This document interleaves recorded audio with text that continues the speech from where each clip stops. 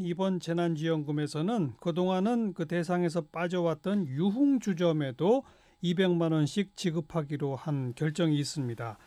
근데 또 얼마 전에 어, 지난 석 달 동안 600만 명이 뭐 룸사롱서 놀았다 이런 기사가 있어서 많은 분들이 관심 가진 바 있죠.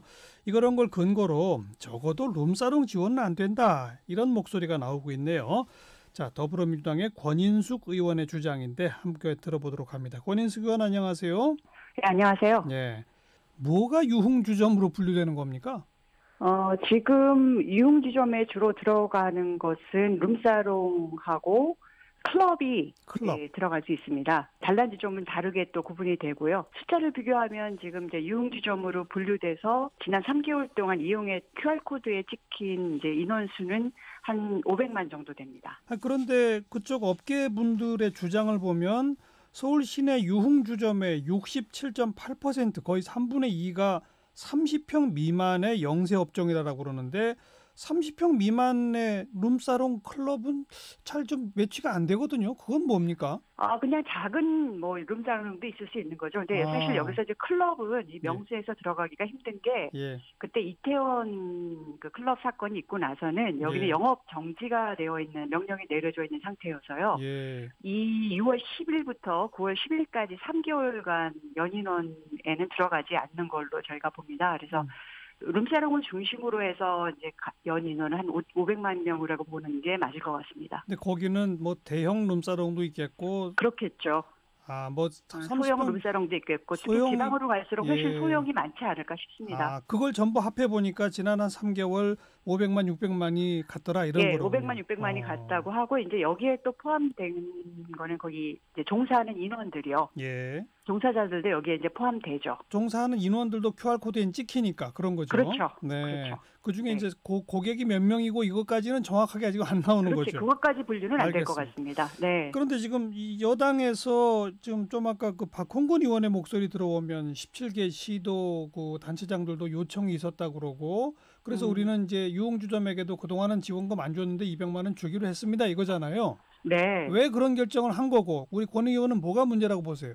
일단 제가 문제라고 보는 거는 지금 이제 재난지원과 관련된 거여서 예. 지금 생계의 문제를 겪고 있는 소상공인들이나 이 업종에 종사하고 계시는 분들에 대해서 제가 문제 삼고 싶지는 않습니다. 예. 근데 이제 지금 특별 피해 업종이라고 해서 이 유흥주점이 들어가긴 했는데 예.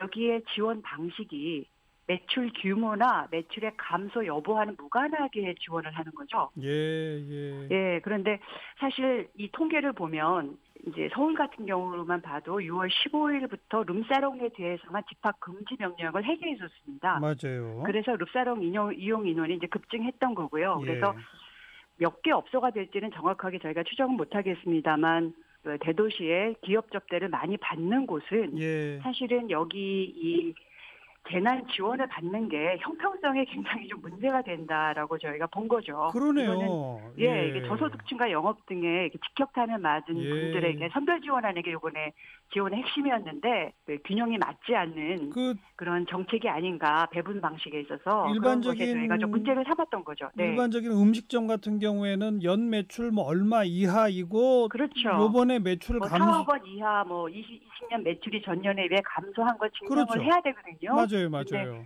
증명을 해야 되는 건 아니지만 하여튼 별도 서류 절차 온라인으로 신청하면 되긴 하는데 예. 이게 좀 특별하게 이렇게 좀 골라내고 있는데 예. 이 유흥 주점만 그걸 골라내지 않았는데 네. 지금 최근에 나온 이 통계로 보면 이거는 좀 균형이 맞지 않는 거 아닌가라는. 생각이 드는 거죠. 확인합시다. 그 네. 서울 강남에 기사를 보면 뭐 방이 100개나 있는 초대형 룸사롱도 있다는 거 아니에요. 그렇죠. 거기도 그렇죠. 200만 원 받는 거예요?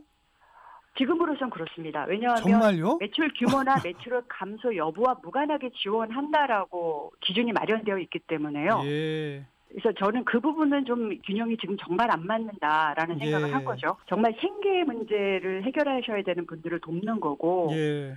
네, 이게 핵심인데 그거하고 좀 취지가 맞지 않는 것이어서 알겠습니다. 알겠습니다. 저희가 문제 제기를 한 겁니다. 근데 유흥주점이라는 분류 하에서 매출액이든 뭐든 이걸 이렇게 선별할 수가 없나요? 근데 일반 업종 같은 경우는 지금 기준을 제시했잖아요. 그러니까요. 기준을 제시했는데 이거는 제- 기준을 제시하지 않는 거는 좀 말이 안 되고요. 예. 특히 이제 특별 피해 업종 같은 경우는 이제 영업 제한을 했던 곳에 대해서 이제 지원을 하기 때문에 그 매출 규모나 매출의 감소 여부를 무관하게 지원하신다는 명분이 쓰는 건데 예. 서울에 있는 룸사롱 같은 경우는 집합금지 명령을 해제시켜 줬단 말이죠. 그렇죠. 그래서 그리고 이쪽 숫자가 너무 엄청나고요. 네. 그래서 좀 도이치지하고 좀 맞지 않지 않나라는 네. 생각이 지금 드는 겁니다. 이 저 정부에 이런 목소리 내니까 무슨 응답이 없어요? 아니요, 응답은 못 받았습니다. 이미 어, 법으로 통과되고 나서는 알겠어요. 예. 더 이상 철회가 불가능한 상황이어서요. 아무튼 네. 좀그 후속 작업을 좀 챙기셔가지고 네. 정부로부터 이런 앞으로도 이런 일이 있을 때 유흥주점에 만약 뭐 그냥 지급을 한다면 뭐 뭔가 매출액이 됐건 뭐가 됐건 기준을 좀 만들어야 되지 않느냐 응답을 좀 네. 들을 필요가 있겠네요. 네, 그렇겠네요. 말씀 네. 여기까지 들을게요. 고맙습니다. 네, 감사합니다. 더불어민주당 권인숙 의원이었습니다.